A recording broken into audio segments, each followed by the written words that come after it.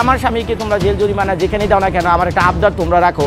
তো আমাকেও ধরে নিয়ে যাও এবং আমার স্বামীর সাথে জেলখানার একই সেলে আমাকেও রাখে। এইটা ছিল একটা বউয়ের মতো কথা, স্ত্রীর মতো কথা। কিন্তু এই কথাটা কিন্তু আপনি বলতে পারলেন একদিন না একদিন তো আপনারা ধরা পড়বেন লীগ সরকার তো বাংলাদেশে সারা জীবন থাকবে না। সে হয়তো বা সরে যাবে, তারপর আরেকটা সরকার আসবে। তো সেই সরকার যদি এগুলো ইনভেস্টিগেট করতে শুরু করে, আপনাদের যদি পায়, তাহলে কী অবস্থা হবে তো গুড আফটারনুন সবাইকে, বাংলাদেশের লেটেস্ট অ্যান্ড ভাইরাল নিউজের উপর করা আমার এই নাইট নিউজ প্রোগ্রাম সবাইকে স্বাগত কেমন আছেন আপনারা? আজকের এই ভিডিওটি আমি ডেডিকেট করতে যাচ্ছি হলো আমাদের এই যুবলীগ নেতা ইসমাইল সম্রাট চৌধুরীকে।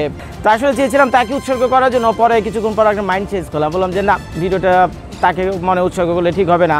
পরে ভেবে চিন্তে দেখলাম যে, না, বেচারা তো জেল হাজেতে আছে, বহুত বিপদের মধ্যে আছে, বহুত কষ্টেও আছে বেচারা। তো তার বউকে আমি কিছুক্ষণ আগে টিভি নিউজে দেখলাম, তার নাম হলো টার্মিন সম্রাট চৌধুরী। তো তাকেই উৎসর্গ করি, একজনকে করলেই হয়।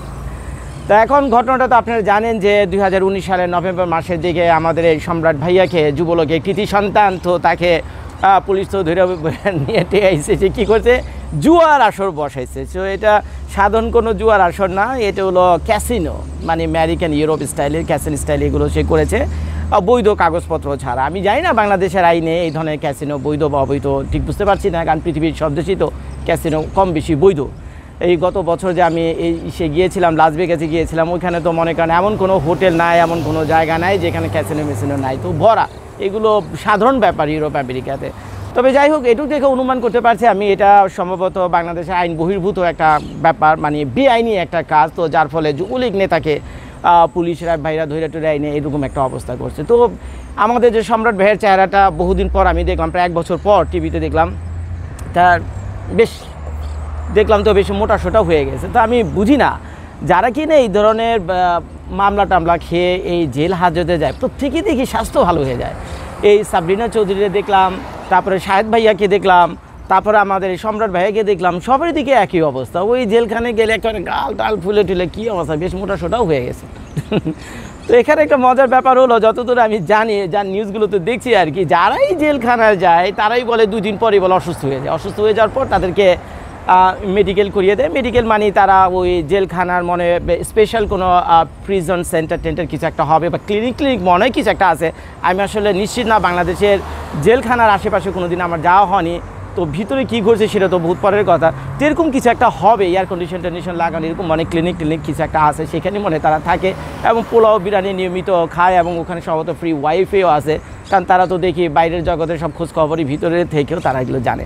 তো এইগুলো আমাদের সম্রাট ভাইয়ার কাহিনী। তো বর্তমানে তার বিরুদ্ধে বহুত মামলা আছে, তার ভিতরে একটি মামলা হলো তিন কোটি টাকার অবৈধ সম্পদের মামলা যেটা দুর্নীতি দমন কমিশন করেছে। তার যে ছোট ভাই রয়েছে তাকে এবং এই তার যে স্ত্রী, সম্রাটের স্ত্রী সামরিন সম্রাট চৌধুরী তাকে দুদকের কার্যালয়ে রেখে তাদেরকে জিজ্ঞাসাবাদ করেছে যে কি, কোথায়, কেমনে, কীভাবে, সহায় সম্পত্তির ব্যাপারে এই ইত্যাদি ইত্যাদি।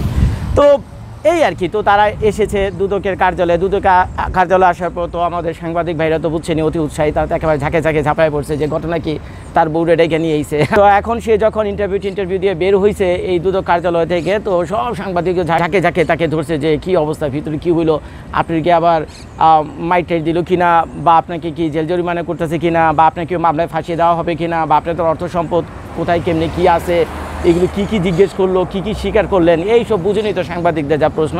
তো এই ভদ্র মহিলা দেখলাম সে তার নিজের মতোই করে বলছে তবে একটা জিনিস আমার দৃষ্টি আকর্ষণ করেছে, যা তার অ্যান্সার্সগুলোর মধ্যে, তো সেটাকে হাইলাইট করি মানে সেটাকে পয়েন্ট করি আমার আজকের এই ভিডিওটা করা সেটা হলো, সে তার স্বামী মানে সম্রাটের কথা বলছে, সম্রাট যত কুকীর্তি করছে আকাম কুকাম করছে, তার একটা দায়ভার নিতেও এই শারমিন চৌধুরী সম্রাট নারাজ।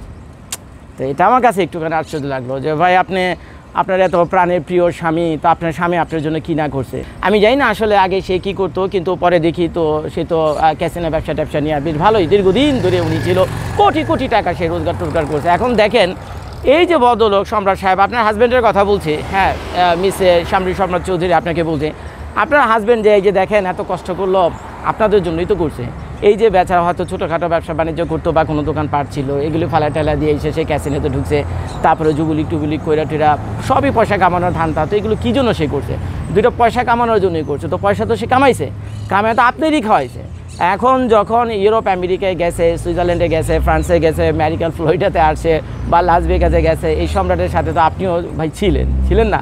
তার সাথে আপনি গলা ধরে ঘুমাইছেন বিভিন্ন ফাইভ স্টার সেভেন স্টার হোটেলে আপনারা ছিলেন ও, বহুত তো আমোদ ফুটি সব কিছু করছেন। তো এই সম্রাট যে টাকা পয়সাগুলো রোজগার করছে তা আপনাদের জন্যই করছে আপনাদের পিছনে এগুলো ব্যয় করছে পৃথিবীর এক প্রান্ত থেকে আরেক প্রান্ত আপনাদেরকে নিয়ে ঘুরছে এই বেচারা। আজকে তো সে একটা বিরাট বিপদের মধ্যে এক বছর হয়ে গেল সে এই জেলখানায় আছে। আমি জানি না যতগুলো মামলা তার বিরুদ্ধে রয়েছে এগুলো যদি প্রত্যেকটার এক এক করে রায় হতে শুরু করে তো আমার তো মনে হয় একশো বছর ছাড়িয়ে যাবে। টোটাল সাজার মেয়াদ।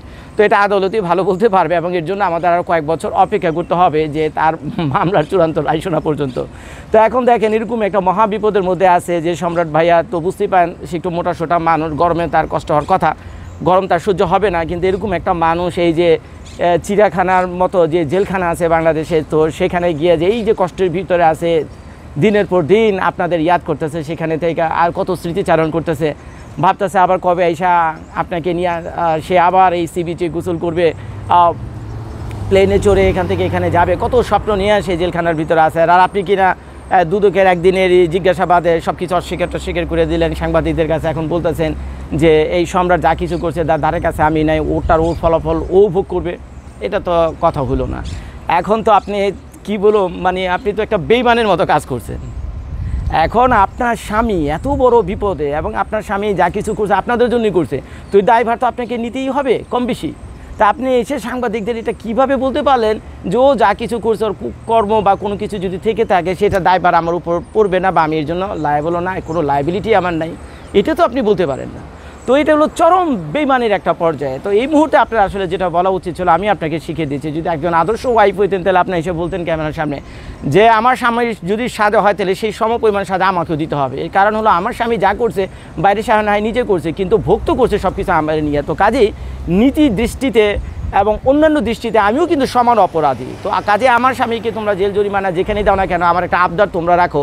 তো আমাকেও ধরে নিয়ে যাওয়া এবং আমার স্বামীর সাথে জেলখানার একই সেলে আমাকেও রাখে। এইটা ছিল একটা বউয়ের মতো কথা, স্ত্রীর মতো কথা। কিন্তু এই কথাটা কিন্তু আপনি বলতে পারলেন না।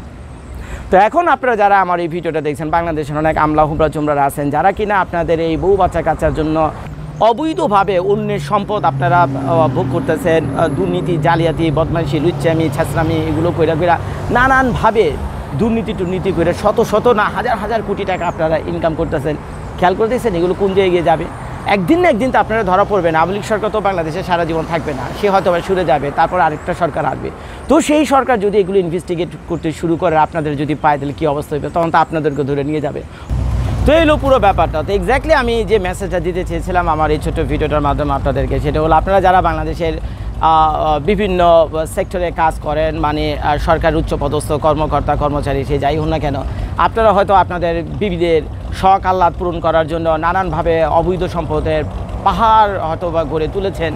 এই সাধারণ মানুষদেরকে ঠকিয়ে চুরি, বদমাশি, দুর্নীতির মাধ্যমে শত শত হাজার হাজার কোটি টাকা আপনারা জমাইতেছেন, বাংলাদেশে সহায় সম্পত্তি করছেন এবং বাংলাদেশে নিরাপদ যখন আপনারা মনে করেন না, তখন এত টাকা কীভাবেই বা ইনভেস্ট করবেন বাংলাদেশে? তখন এগুলো নিয়ে হয়তো দুবাই চলে যাচ্ছেন মালয়েশিয়া থেকে সেকেন্ড হোম করছেন কানাডার বেগমপাড়া থেকে ইনভেস্ট করছেন অথবা নিউ ইয়র্কের রিয়েল এস্টেট বিজনেসে গিয়ে আপনারা এগুলো ইনভেস্ট করছেন। যে এত রিস্কি আপনারা নিচ্ছেন, তো এবার খেয়াল করে দেখেন, এই সম্রাটের বউ যে ঘটনাটা ঘটাইলো, এই শারমিন সম্রাট চৌধুরী, তার স্টেটমেন্ট তো আপনারা টিভিতে দেখলেন।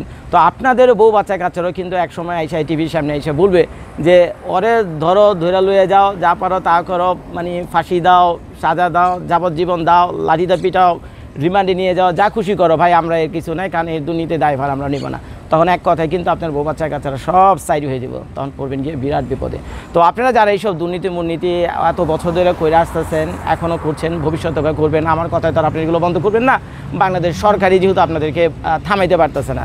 তো যাই হোক, শুধু এই জিনিসই মাথা রেখেন, যখন বিপদে পড়বেন ভাই, কেউ আপনার সাথে থাকবে না, সব কিন্তু পিছন থেকে ফুটবে। যেমনটা সম্রাটের বউ ফুটলো। তো যাই হোক, এতক্ষণ ধরে আপনারা যারা আমার এই ভিডিওটা দেখছিলেন, তাদের রইল অনেক অনেক ধন্যবাদ।